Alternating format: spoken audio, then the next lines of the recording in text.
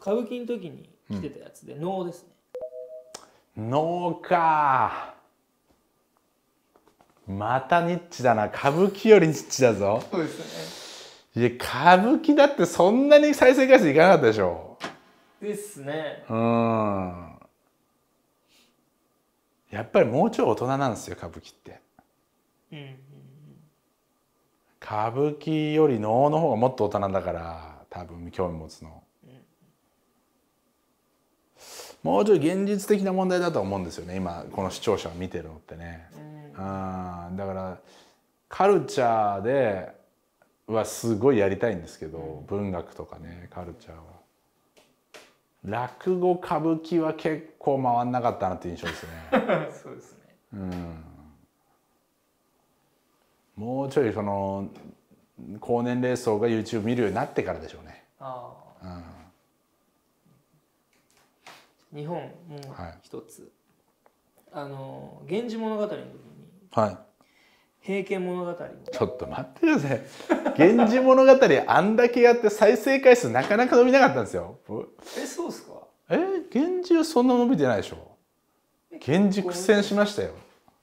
あそうでしたっ最終じわじわ伸びましたけど、けはい源氏は長かったんで、そうですね8ぐらいは確かい。いや源氏はね、もう大好きでしたよ。めっちゃ面白かった。え結構好きって人多くないいや違ですかうんですよ。あの文学編はもう熱狂的なファンいるんですよ。あだけど再生回数は伸びないんですよ。なるほど。だから本当にすごい順調な時にたまにやるっていうら そういうスタンスで今までもうん。こうなんとかギリやってきたっていうか。江戸川乱歩とかもそうですね。そう。でもね急にでも文学編はあの見てオンラインサロン入ってくれる人も多いんですよ。多いですよね。文学編は相当ねコアなファンがいるんではいただマスに届かないから バランスですよこれ。これバランス。平家物語か。平家物語か。いやあるでしょうね。うん、ある。最近の流れで、うん。結構出てくるやつでリーマンショックおーそっかリーマンショック。ワードとしては結構よくこれが出てくるんですけど。一回整理しとこうってやつですね、はい。ああサブプライムローンっていう要するに不動産を安いあのーまあ言ったらそんなにあの富裕層じゃない人たちにうん。ローン組ませたっていうやつですよね。うん。リーマンショックな確かにしっかり知っとく必要があるかもしれない。バブル崩壊やりましたもんね。そうですね。その時に来てましたね。結構分厚めにバブル崩壊やったもんな、確かにリーマンショック面白いかもしれない。結構経済事件は見たいっていう意見ありますね、うん。でも本買ってると思うんですけど、はい。あの「です」死とは何か？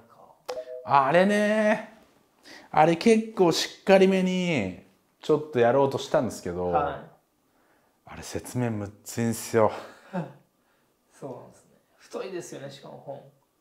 あ太いのは訳があって。は一個一個細かく検証していくんですよ。いうーん。死ってこういうものと思ってる？でもそうじゃないよ。なんでかっていうとこうだから、なんでかっていうとこうだから。それをねもう本当淡々とやっていくんですよ。うん。いやーでもまあちょっとうんあれ時間ある時ですね。うん。あ MMT について。あ MMT ね。うん。いや買いましたよ本。あそうなんですか、うん。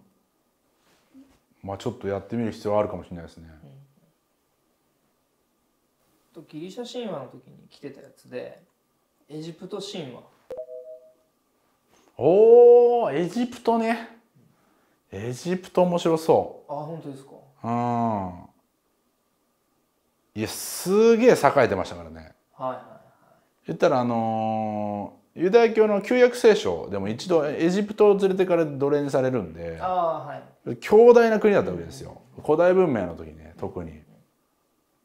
何が起きてたんだっていうのはやっぱり誘うもんがありますよねそれは。やっぱロマンとして。古代ギリシャから始まる話がすごい多いからヨーロッパの文化って。エジプト時代のっていうのはほとんど聞かないわけですよ。ああそうですね確かに。世界史上。そうですねギリシャはよく。古代ギリシャ何回も出てくるんでね。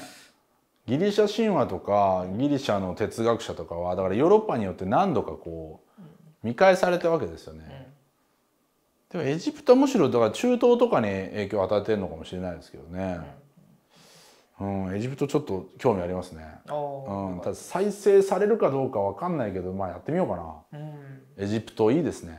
うん、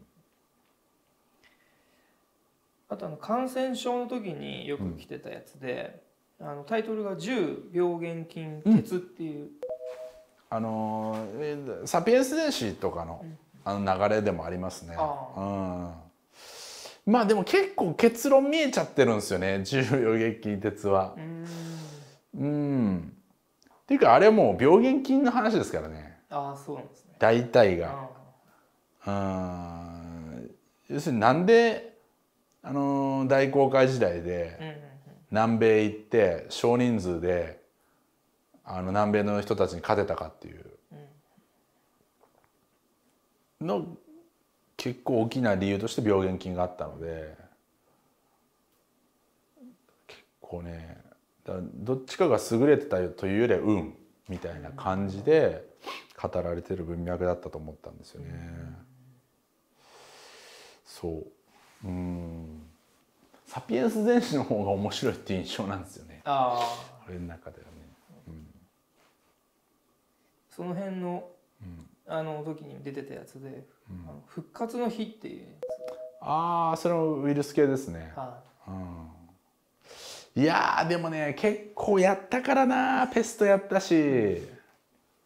今なんかだからコロナ云々の本質ウイルスとは何かっていうもの以上にうーんだから世界恐慌が来るのか来ないのかとかっちになってきましたね大きい企業が潰れるのか潰れないのかっていう方向に入ってるから日本は特に。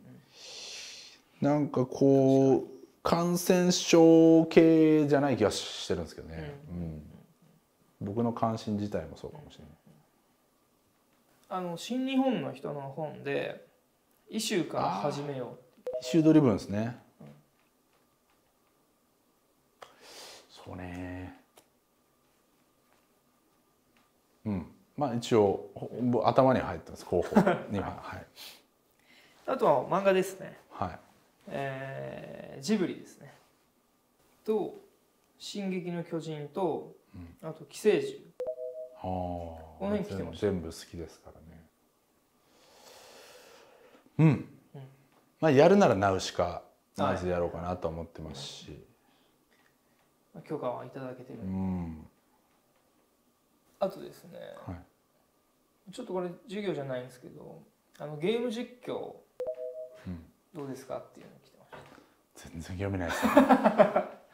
全然興味ないだってほとんどの芸人さんが今それやっちゃってるから。うんそうですね。あつ森とかホラーゲームですよね。はい。みんなやってるから。でも僕自身があつ森もホラーゲームもあんまりピンとこないんで。うん。多分向いてないんだと思うんですよね絶対本田翼さんがやった方がいいでしょ。ーまあそうですね。本田翼さんの領域だと思いますよ ゲームは。好きですね。好きか嫌いかですよね。関心がないもん。あいやだってゲーム絶対伸びるしこれからねどんどんそれこそなんかテンセントとかもそうですけどうん。絶対ゲームの時代は来るのででもまあ単純に向いてないっていうね。あでももう一個来るのが EdTech ですから education 昔のあの向こうの TikTok の中国版の Douyin はい。 Douyin でもやっぱり教育コンテンツ。だからすごいあの TikTok ジャパンにもあのうん。一回ね声かけられたのはいはは動員がそうだからなんですよ。でも TikTok でやってみてパッとわか思ったんですけどやっぱちょっと日本は事情が違うと思ったんですよね。うん。うんちょっと中国とはやっぱ動員とやっぱサービスがまず違うし今どれぐらい盛り上がってるんですかね TikTok ってね。ちょっと、うん見えないなと思ってしまって、今むしろ日本は YouTube がすごいヒートアップしてるから、はまあ、そこで走り切るしかないだろうなって、うん